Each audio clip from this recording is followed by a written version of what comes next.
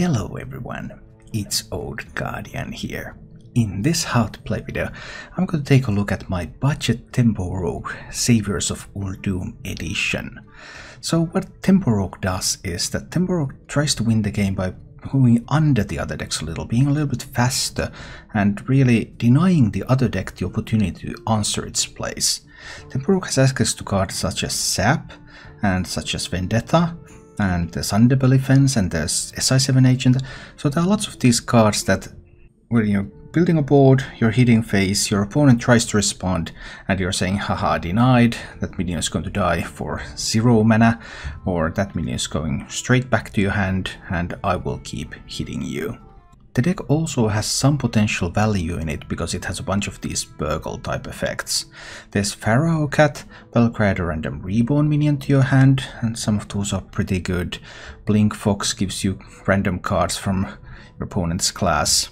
And then there is the Hench-Clan Burglar, discover a spell from another class. So these can sometimes give you some surprises, and surprises are good. You want to be able to surprise your opponent. And the deck has a bunch of reach because it has combos such as South Southsea Deckhand and Crazed Chemist, give a friendly minion plus 4 attack. If you happen to have a board, you want to Crazed Chemist some kind of a high health minion, so that then it can probably survive. But even if you have already lost the board, then South Southsea Deckhand charging in with the Crazed Chemist, that's 6 damage. So you still have some tools to go with that one as well. Not to mention that with the Evil Miscreant you also have access to lackeys, so lots of surprises.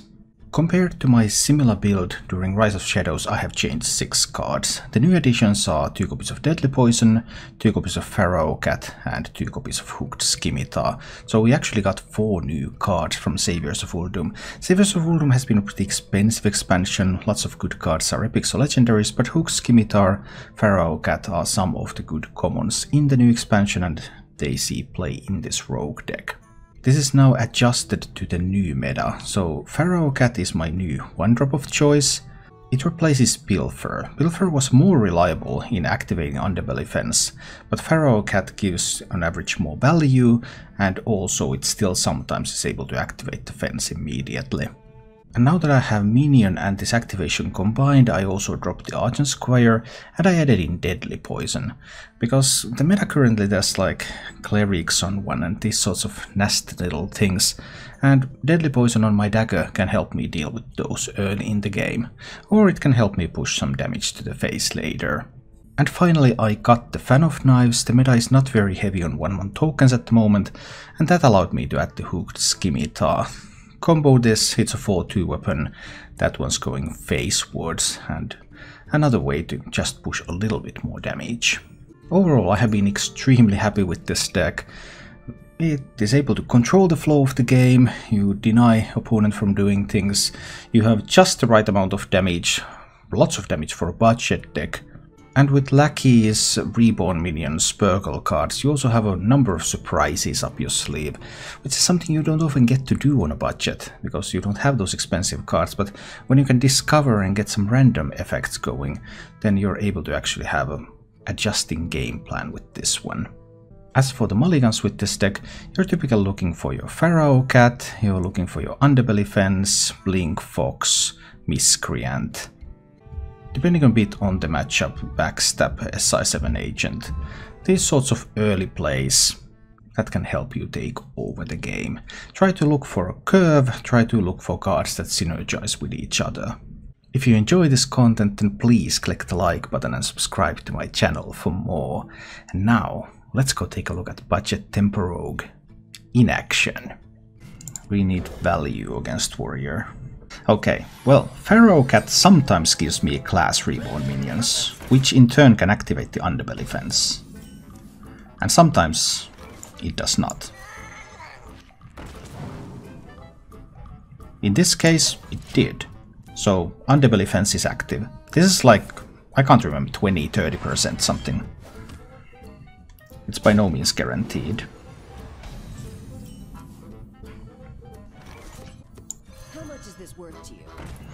Here we go with the underbelly fence and then we start hitting face. Let's go. He can't rush yet, but next turn he can. Frightened Flunky. That's scary too. I don't want to play the Grand Mummy because then the Vendetta is useless. I can play Henchman Burglar next turn to activate the Vendetta. I can play the Grand Mummy. Yeah, we're going to do that. I'm going to backstab that one. And I'm going to play the Grand Mummy. Because with the Henchman Burglar I can always reactivate the Vendetta.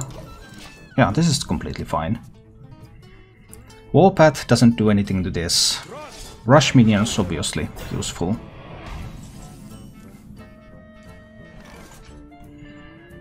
Not really wanting to give that plus 4 attack now against the Proud Defender. So I could activate the Vendetta. I could hit these in buff that one. Then activate the Vendetta to kill the Proud Defender. This one goes face. I think that's acceptable. Let's do that.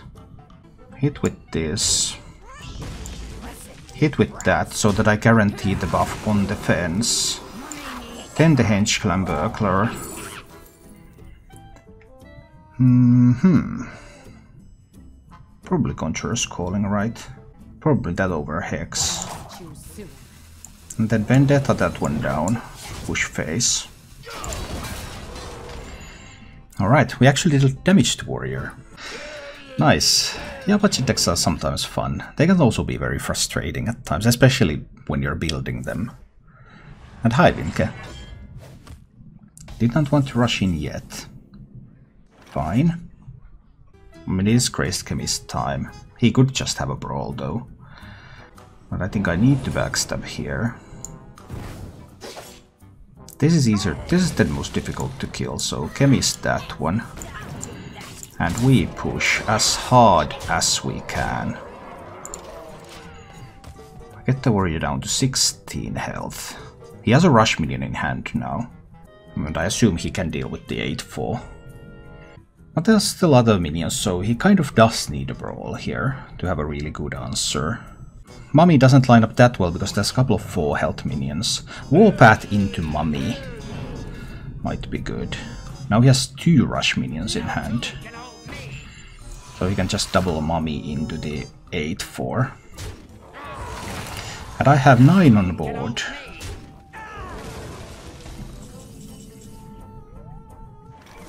Seven mana. Nine here. I can do 13. Then I have five from hand for next turn. I have to try that. I think that is the only way. They could be at Zilliax. Sucks if there is.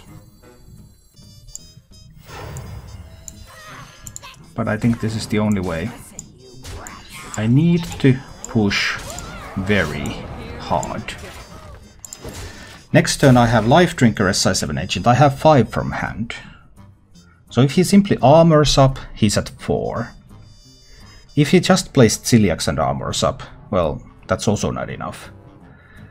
I think we have him cornered. I don't think with 7 mana he can both heal and clear well enough. What can you do, Control Warrior? What can you do? There's also the matter of the Grand Mummy giving a buff to a minion. So... Tough position to be a Control Warrior in. This deck isn't very good against Control Warrior.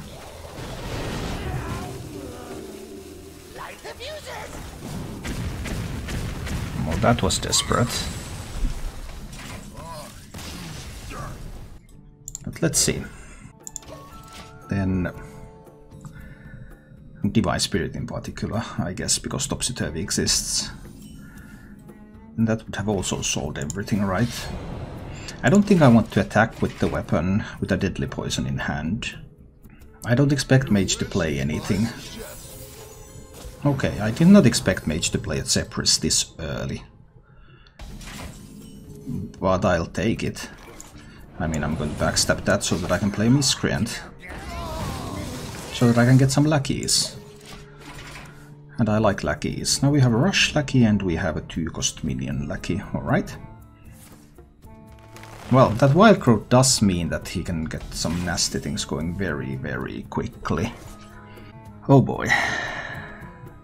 Let's summon a 2 cost minion. Hope it's not a Doomsayer. I like that. And then I think I'm also playing the SI7 agent here, because I need to start pushing, and I need to start pushing now. Time will run short soon. So that's probably going to be Flame Ward. And Flame Ward would indeed kill my entire board here. But it's not like I can stop. I have to attack. Hey, lights out. So we attack. Then the Flame Ward procs.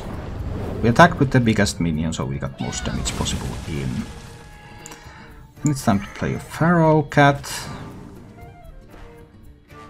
I do like good Wasteland Assassin, but I still need more tempo here.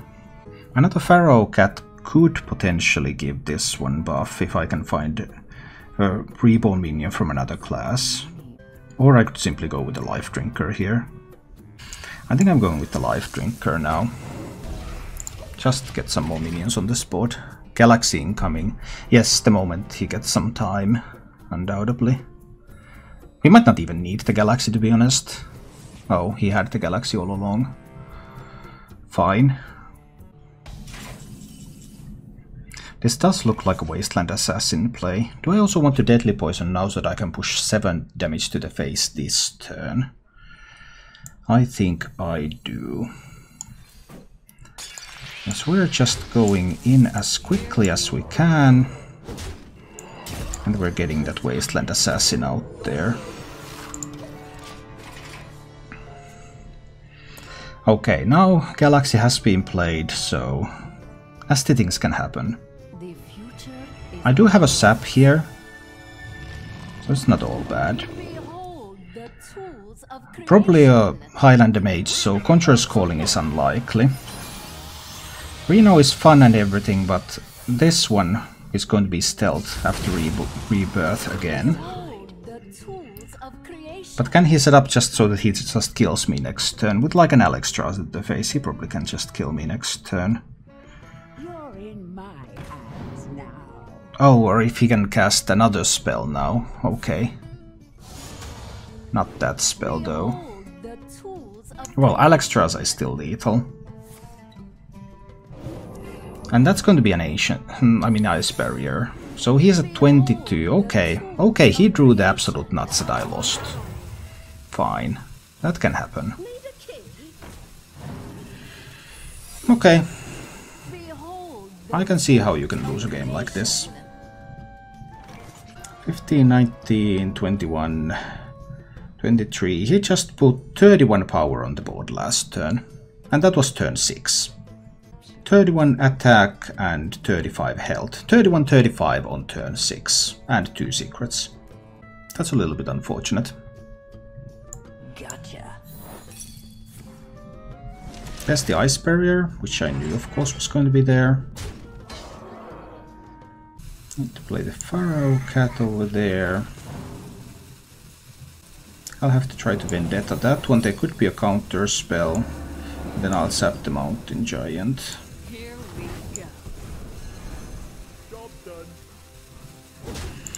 I don't think I can deal 15 from hand next turn. Yeah, I cannot. So I, I do need to concede. Something like this might work against Priest. Is this deck performing now? Hard to say.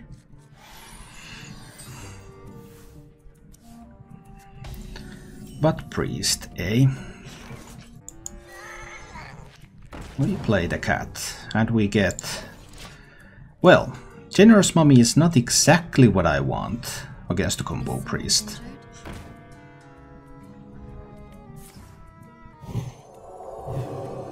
That was powerful too. Because I was planning to kill the potential cleric with coin SI7 agent. But now obviously I cannot do that. If I coin Blink Fox, then I have 4 power on the board. And I have the ability to get the underbelly fence out there. But is that going to be strong enough? I mean I have a sap, I just wouldn't really want to use it yet. I think I'm coining the Blink Fox. I always have Sap as a last resort. And which deck do you recommend to beat Control Warrior? Oh, there are so many. Quest Druid with Nomi is great. Uh, Highlander Mage is great. Mecha'thun Warlock, but its problem is that it doesn't beat much else. Quest Paladin, oh no. Full Northshire. Ouch. That's painful stuff. Always hurts to see the full Northshire. I can't kill both Northshires here. No, just don't have enough mana. How much is this worth to you? But Fence and Blinkfox can kill the bigger Northshire. But now if he just plays like Circle... Oh dear, oh dear. Too too much, too much card draw. Can't handle all the Northshire clerics. I had the tools to handle a 1-3 Northshire cleric, but 1-5 Northshire cleric on 2 just was too much.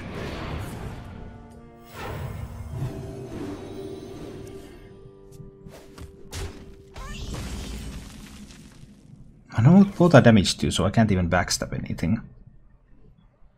I'll need to scheme here. I'll scheme this. Then I can trade it away. And then I can kill the Northshire Cleric finally. But by now he will have some Psychopomp action coming.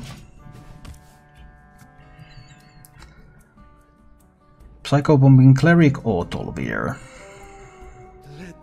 Probably a Cleric. That's an upside. Is this the moment where I need to go for tempo? With a sap here. Sap and everything goes face.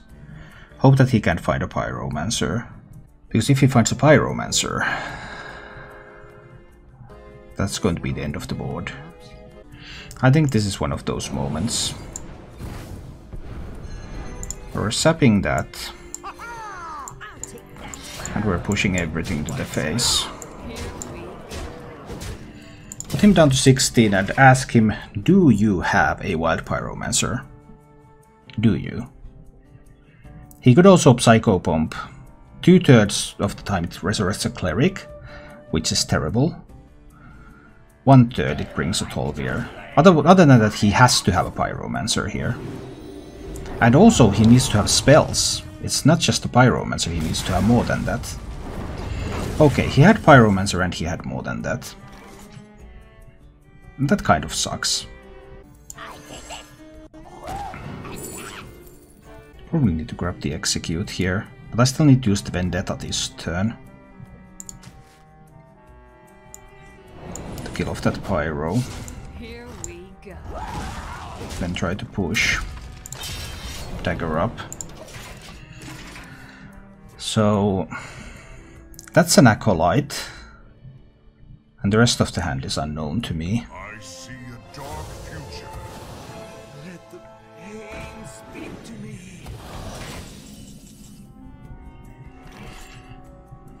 So I probably have to... But this one can kill me if he has combo pieces. That's obviously harsh. From 29 he still needs a Power Word: Shield. Even if he has double Divine Spirit. Because he can get to 28 with Divine Spirit, Divine Spirit Inner Fire. I think I need to blink Fox.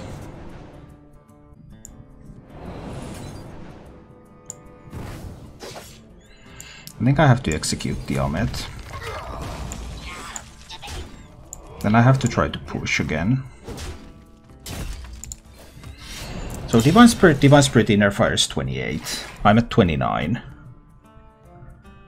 He would need to have arms or Power Word: Shield in addition to full combo. If he wants to just kill me now. The end. Very low chance to get a taunt minion out of that because only one taunt minion has died. He doesn't have a natural way to generate taunts. I'm currently kind of threatening lethal, but not really.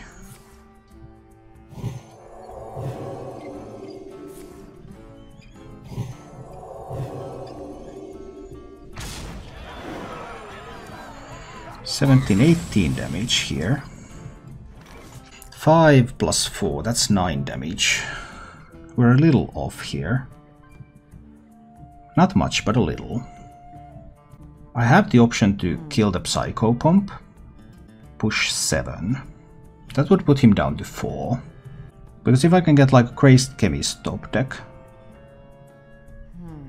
that might do it.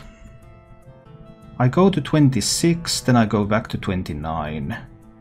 Circle Divine Spirit Inner Fire. Here we go. Mm, Mm, this is okay.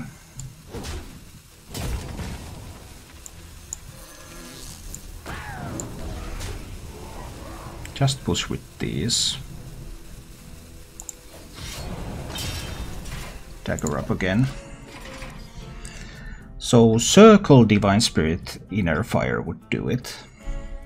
But that's a multi-card combo. Injured?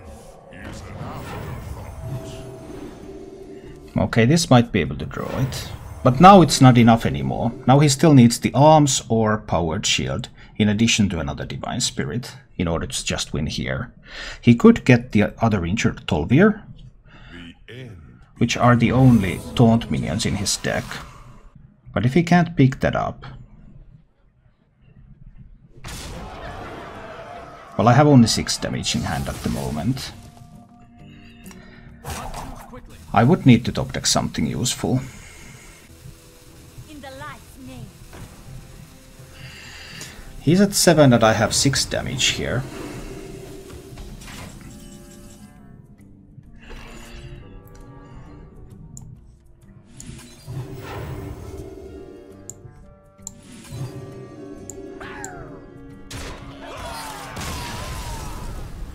Acceptable victory.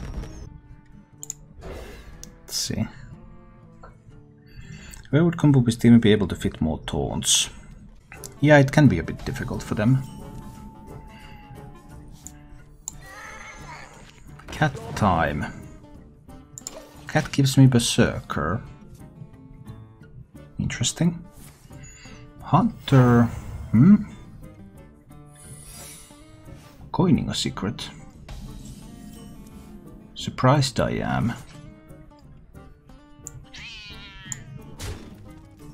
I can't proc it. Unless it's, unless it's a snipe. It is not a snipe. Pressure plate, rat trap, snake trap. Couldn't proc the secret. That's unfortunate. I of course wanted to proc the secret, I really, really did.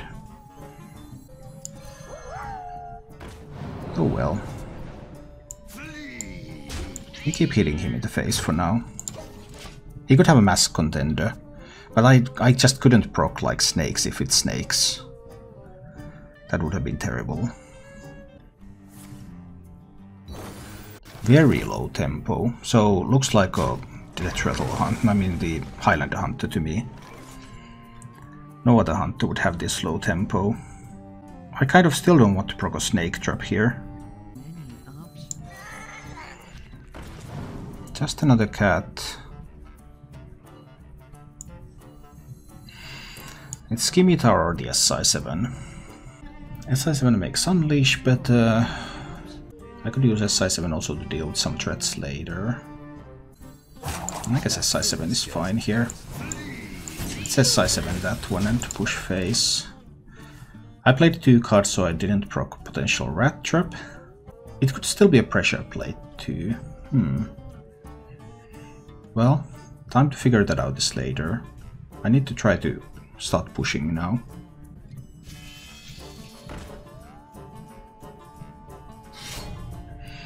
Desert Spear.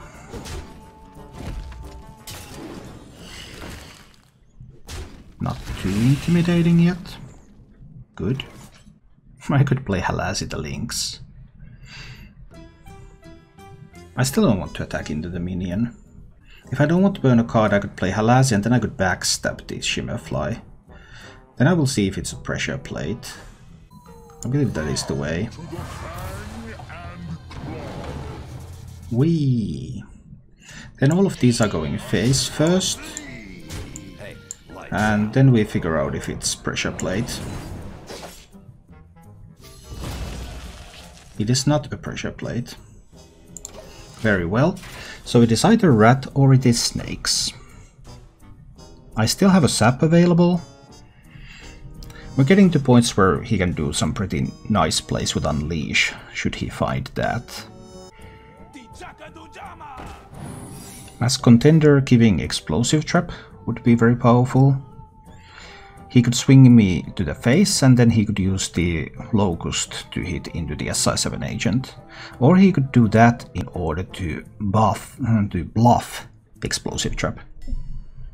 I love it when they bluff Explosive Trap. I mean, I hate it when they do because I can't tell all, most of the time, but I think it's such a great move. I've seen people cut Explosive. That's surprising if that happens, really.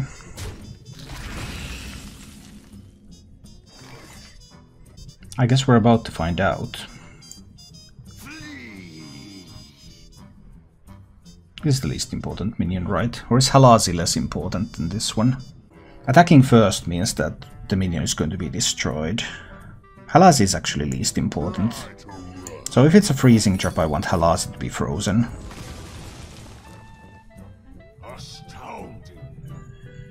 I mean, I don't know what you're so astounded about.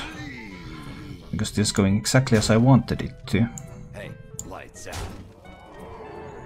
I get to play another Reborn minion. And I get to play the Scimitar. Okay, sniping a Reborn minion, I'm cool with that. Go ahead and snipe it. While I push more damage in. Sure, now he might be able to clean up the whole board. And it can still be Rat Trap or Snake Trap, the remaining one. Oh, Zephrys is going to be so clutch here. Just need to be careful with the rat and try to find some good stuff from my deck. My shield for Argus. And Defender of Argus, obviously. A nice, nice tool. So the one one is going to rush into my tree one. And I kind of don't want to sap his Zephrys. And I have 6 damage here. It's time to get some luckies. And then it's time to backstab there. Now it's time to proc the rat trap. It's obviously time to proc the rat trap. It was actually snakes. Well, it's time to proc the snakes then. And get some more Lynxes over here and Lynxes over here and hit with that and hit with that and 5, 7. I have 7 coming here and 7 coming here is acceptable. This one goes in, this one goes in, this weapon goes in. We'll put him down to 3 health. I have sap, I have kobold lackey and I have a dagger. And those should be enough to kill him next turn. That's the plan at the moment. Trade as you like. I have a sap.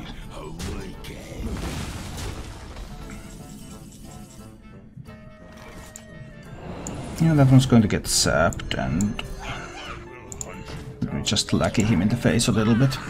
And we take the game.